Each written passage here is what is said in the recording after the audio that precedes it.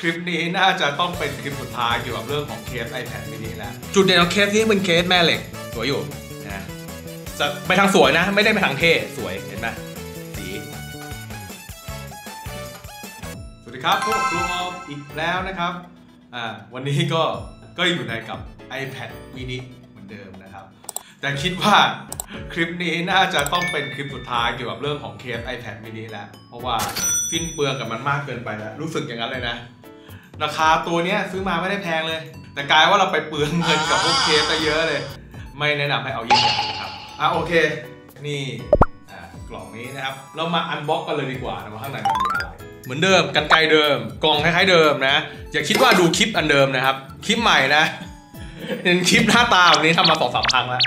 โอเคอะแกะเอามานะครับ โอ้ให้ bubble มาอันเบ้อเร่อเลย อันนี้ครูออมจะสัญญาตัวเองเลย ว่านี่จะเป็นเคสอันสุดท้ายที่ซื้อให้น้องมินิแล้ว จะไม่ซื้ออีกแล้ว นั่นก็คือเคสของ MOFT นี่เองนะครับนี่ MOFT ทำไมถึงซื้อนะครับ มันเป็นเหตุผลที่ว่าเราซื้อไอ้นี่มาแล้วไง ซื้อตัวนี้มาจำได้ไหมตัว stand เนี่ยอะโอเคเรามา unbox กันดีกว่าพูดเยอะแล้วไม่ได้ไม่ได้ไม่ได้เป็นตัวข้างหลังนะ ไม่ได้ตัวข้างหลังนะครับ ไม่ใช่อย่างนี้นะ จุดเด่นของเคสนี้เป็นเคสแม่เหล็กอะแกะออกมานะ นี่ เขาบอกเป็นสีเทา แต่ครูออมว่ามันมันเป็นขาว ดูดิดูความระยิบระยับสิตรงนี้จะเป็นแม่เหล็กเดี๋ยวขอดูสเปคนิดนึงไอ้ MOFT แบรนด์ MOFT มันรุ่นมันชื่อ snap snap case นะ snap case ใช้ได้เฉพาะกับ iPad mini รุ่น 6 เท่านั้นนะ iPad mini ตัวนี้เท่านั้น only เท่านั้นนะ ใช้กับ 5 ไม่ได้นะครับ น้ำหนักอันนี้จะหนักกว่าตัวลิกกี้นะครับ อันนี้จะเป็น144 กรัม ก็ถือว่าเป็นเป็นน้ำหนักที่รับได้จากที่มันมีแม่เหล็กข้างใน แต่ว่าถือก็ไม่ได้หนักมากขนาดนั้น ตัวเคสด้านหลังยางมันยาง TPU นะครับ กับหนังวีแกนนะหนังหนังวีแกนไม่รู้คืออะไรนะพูดไปกันวีแกนเลเทอร์ข้างในเนี่ยมันจะมีแผ่นโลหะ เราสามารถติดกับพวกแม่เหล็กได้ใช้งานได้นะลองติดเลยตัว snap stand ใช่ไหมตรงเนี้ย snap off มันจะมีไอ้แม่เหล็กมาให้แบบนี้ อันนี้ใช่ไหมเขาบอกว่าถ้าใช้คู่กับอันเนี้ยมันจะติดได้เลย เนี่ยติดได้จริงด้วย ติดแน่นด้วยนะ ติดแน่น เชี่ยโคตรแน่นเลย เขาบอกว่าสามารถกันละอองน้ำได้เล็กน้อย ตัวเคสเองเนี่ยไม่สามารถป้องกันรอยขีดข่วนจากพวกของมีคมได้นะครับ เคสนี้จะบอกไว้นะเคสอันเนี้ยไม่ได้กัน drop test นะ อันนี้ไม่ได้กันกระแทก แต่แต่ว่ากันได้นิดนึง ไม่ได้กันแบบโหตกมาอย่างเงี้ยเวลาเคสไหนกันกระแทกนะมันจะมันจะลักษณะนี้ครับถ้าเคสกันกระแทกเนี่ยตรงมุมดูตรงมุม มันจะแบบแข็งแข็งวัสดุมันจะแบบสร้างมาเนี่ยให้กันกระแทกโดยเฉพาะนะครับอย่างตัวนี้จะกันกระแทกนอกนั้นก็ไม่มีอะไรครับ ไม่มีอะไรแเป็นเพนซิลได้นะครับอะมาใส่กันดูดีกว่านะครับเขาบอกว่าเวลาใส่นะ เห็นตรงนี้ปะเห็นปุ่ม ไม่ว่าจะเป็น iPad case ของอะไรก็แล้วแต่นะจะเป็นด้านข้าง จะเป็นอะไรแล้วแต่นะ ให้ให้เอาปุ่มเนี้ยเข้าก่อนเนี่ยตรงปุ่มเนี้ยเนี่ยปุ่มเนี้ย ไอเคนี้ผมซื้อมา 999 บาทนะ425 ขาย 990 วิธีใส่ก็เอาเนี่ยเข้าก่อนนะครับเนี่ยเข้าก่อนเข้าก่อนเพราะว่ามันถ้าเกิดเราไม่เอาข้าเข้าก่อนใช่บางทีเคสมันไปมันเป็นขูดมันอาจจะดันปุ่มหลุดมาได้นะครับดังนั้นเนี่ยเอาหัวเข้าก่อนเลยเนี่ยเอาโมดูลกล้องเข้าก่อน โอเค สภาพตอนใส่ก็ประมาณนี้นะสวยอยู่นะจะไปทางสวยนะ ไม่ได้ไปทางเท่สวยเห็นไหมแล้วสิ่งที่ครูออมจะประทับใจมันตรงที่ว่าไม่ใช่ประทับใจที่ว่าจะใช้งานมันนะคือครูออมจะไม่ติดอะไรไว้ข้างหลังเลยแบบนี้ แต่สิ่งที่ใช้คู่กันคือตัวนี้ต่างหากใช้คู่กันเลยประกบลากดีกว่าใช้ไอ้แผ่นเนี้ยเพราะว่าอะไรทำไมมันดีกว่านะเพราะว่ามันปิดตรงไหนก็ได้ไงแล้วมันดึงออกมาได้ตอนไหนก็ได้เนี่ยนี่อย่างนี้นะครับเนี่ยอะเดี๋ยวมาใช้งานจริงกันดีกว่านะครับ ก็คือเวลาเราใช้ใช่ไหมเราเราก็ติดไว้เลยก็ได้ ติดไว้แล้วก็พกไปเลยก็ได้ ไม่หนักไม่รู้สึกหนักขึ้นเท่าไหร่นะข้อดีก็คือเราสามารถเอาไอ้ตัวเนี้ยพกพกไปพร้อมกันได้เลยโดย ไม่ต้องกินอะไรมาแล้วมันเห็นแบบสันๆเนี่ยไม่หลุด ไม่หลุดนะครับแล้วเวลาแต่เวลาใช้จริงก็ มันจะต้องดึงออกมาก่อน แล้วค่อยกลางนะครับเราค่อยติดติดมุมไหนได้ก็ได้นะได้หมดเลยปึ๊บแล้วความแน่นสูงสุดนะครับสูงสุดเลย อันนี้อ่านี่เขาเรียกว่าเขาเรียกว่า floating mode นี่นี่ stable นะอย่างเงี้ยโหมดนี้แหละโหมดวาดรูปนะวาดรูปให้ใช้โหมดนี้อะเคสไหนวาดรูปดีสุดเนี่ย combo เนี้ย combo เนี้ยดีที่สุดไม่มีไม่มีทางที่รูปแบบอื่นจะดีกว่านี้แล้วนะแล้วก็อันนี้สะดวกที่สุดแล้ว โหมดนี้โหมดที่ดีที่สุดในการวาดรูป แล้วก็มันปรับองศาได้ unlimit เนี่ย ไม่ไม่แบบมันเท่าไหร่ก็ได้ เนี่ยกูจะปรับเท่าไหร่ก็ได้ เนี่ยอย่างเงี้ย เห็นปะนะ เนี่ยได้ unlimit นี่คือ portrait portrait mode เออ จะบอกว่าไอ้ที่ใส่เนี่ยไม่ได้ชาร์จนะ ถ้าชาร์จต้องชาร์จตรงนี้ นี่ตรงมุมนี้ เนี่ยมีมีร่องให้ชาร์จ เนี่ยปึ๊บ นี่ต่างหากเนี่ยชาร์จ เห็นไหมอันนี้เคสนี้เหมาะกับรูปแบบไหนนะ เดี๋ยวจะบอกอีก เหมาะแบบนี้ครับปึ๊บ เสร็จแล้วก็เอาคีย์บอร์ดมา นี่คือรูปแบบที่เหมาะที่สุดกับการใช้เคส นี่คือรูปแบบที่ perfect ที่สุดแล้ว แบบนี้เลยอย่างนี้นะ เนี่ยแล้วก็ใช้จริง ๆ มีเมาส์ด้วยก็ดีนะเราก็สามารถใช้ใช้ตัว MOFT เนี่ยกับคีย์บอร์ดได้แบบลักษณะนี้ ซึ่งค่อนข้างจะดีมากนะครับ เพราะว่ามันดูเท่มากเลย เอาเข้าไปอย่างนี้ยังได้เลย เนี่ยมันจะได้ประหยัดพื้นที่มากขึ้นเพราะมันลอยขึ้นไง นี่คือรูปแบบที่เข้ากันมากที่สุดของตัวเคสนี้นะครับ ถ้ามีคีย์บอร์ดสีขาวนี่ใช่เลยโอ้โหสีไปด้วยกันได้นะครับคงมาใช้ iPad เป็นหลักไม่มีคอมนึกออกป่ะไม่มีคอมก็อย่างนี้ก็ได้บางคนอาจจะมองไม่เห็นมุมนะครับ นี่ก็เผยให้ดูอะถ้ามันลองใช้งานจริงเนี่ยเวลานั่งใช่ไหมใช้ MOFT มาตัว phone stand เนี่ยนะครับเราก็ไม่ต้องไม่ต้องแบบเงี้ยเมื่อมันทานเนี่ยนึกออกเพราะว่ามันมันเงยมันเงยอย่างเงี้ยได้เนี่ยเราก็สามารถที่จะแบบ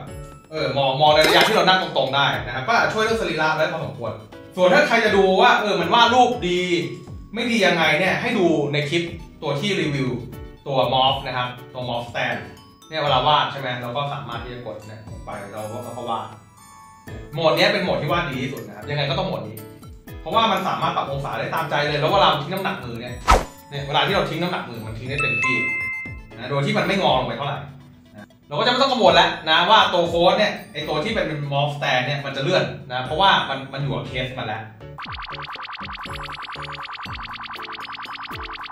ามารถใช้งานได้ไม่ต้องมีปัญหา ถ้าอะไรกับ Clip Studio ก็อาจจะต้องวางนี่แล้วก็ทำงาน เพราะว่าคิดสตูดิโอบางคนใช้คีย์บอร์ดใช่ไหม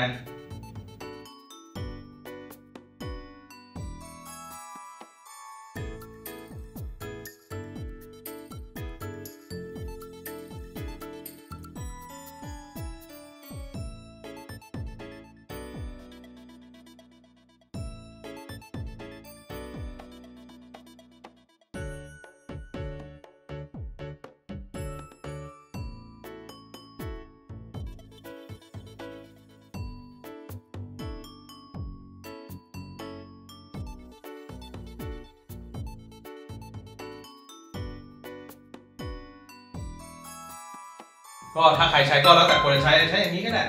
อย่างนี้ก็ได้แต่ว่าไม่ค่อยถนัดอะอย่างเงี้ยไม่ค่อยถนัดอย่างนี้ถนัดกว่านะแล้วก็ตั้งคีย์ลัดให้มันอยู่ด้านซ้ายไปนะครับยกเว้นว่าจะพิมพ์จะพิมพ์ ถ้าจะพิมพ์จริงๆก็เพราะผมไม่ได้วาดเราใช่ไหมถ้าจะพิมพ์จริงก็เอามาไว้แบบนี้ก็ได้จะพิมพ์แบบช่วงที่ออกวาดการ์ตูนเนี้ยนะครับแต่งแล้วก็อย่างนี้ก็ได้แล้วก็กดเอาอย่างนี้ก็ได้นะครับก็ไม่ได้วาดแหละโอเค นี่เป็นอีกหนึ่งจุดเด่นถ้าเกิดคุณใช้เคสผสมกับตัวนี้นะ ก็การวางโมตักจะดีที่สุดเลยนะ เพราะว่านี่ เนี่ยข้างๆเนี่ยมันดัน ถ้าคุณวางบนตักไอ้นี่ดีที่สุด ไม่มีทางที่โซนอย่างเงี้ยสู้ได้เพราะว่าเนี่ยมันดันเนี่ยเราเนี่ยไม่เลื่อนเลยนะครับคุณสามารถทิ้น้ำหนักสบายๆเลย แถมไม่ไม่พอนะ ดึงออกมาเงี้ยแปะงี้ก็ได้เนี่ยนะอ่านการ์ตูนอ่านอูมารู้อยู่เลย การครอบขามันอะเราสามารถปรับได้เนี่ยบัมได้แบบหลายลดหลายระดับมากเนี่ยเนี่ยอย่างเงี้ยได้ได้หลายแบบหลายรูปแบบมาก โอกาสร่วงต่ำมากหรือเอาออกไปเลยก็ได้ออกไปเลย ก็ได้นะก็ได้เอาออกไปเลยก็ได้ คือคือความความดีคือมันออกไปเลยก็ได้ นะมันพอมันออกไปก็เบา อันนี้ก็จะเบาที่สุด ถ้าจะวาดรูปเนี่ยวางบนตักเนี่ยมันจะมันจะทางเนี้ยมันจะ slope ไป slope เงี้ย slope ลงไป slope ลงไปคือเราต้องมานั่งทำท่านี้ ให้มันขึ้นมาแล้วเราก็วาดถึงจะวาดได้ อย่างเงี้ยมันจะช่วยแบบเหมือนตัวช่วยค้ำเห็นไหมตรงเนี้ยมันช่วยค้ำไม่ให้มันเนี่ยตรงตกมาเนี่ยเราก็วางค้ำไว้เลยเนี่ยวางค้ำไว้เลยอันนี้ไม่ตกอยู่แล้ว มันจะไม่ตก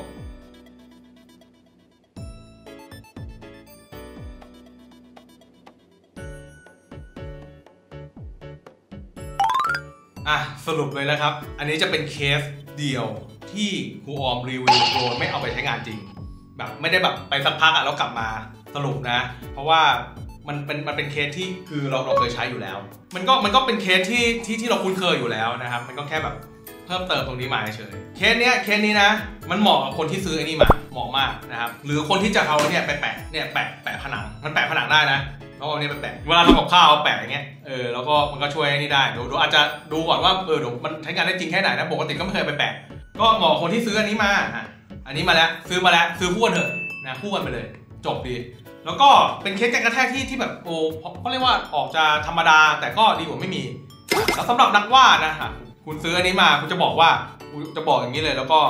ยังกล้าการันตีนะว่า ไม่มีเคสไหนนะครับที่เหมาะกับนักวาดเท่านี้อีกแล้วถ้านับมันขาดมันขาดคะแนนข้อเดียวคือมันขาดเรื่องของน้ำหนักแค่นั้นเองถ้าเรื่องวาดอะไอเนี้ยไม่มันมันมันอันติเมทสุดเลย อันติที่สุดเลย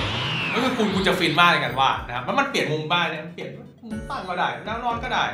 คือคือมันมันสะดวกมากนะครับเมื่อมันประกบอยู่2อันจะโคตรสะดวกเลย แล้วมันก็ประกบติดกันได้เงี้ยไม่มันก็ไม่ต้องแบบเอาเอาใส่กระเป๋าไปเลยนะถ้าคุณแบกไหวนะสำหรับคนที่แบก iPad Air อยู่แล้ว iPad Air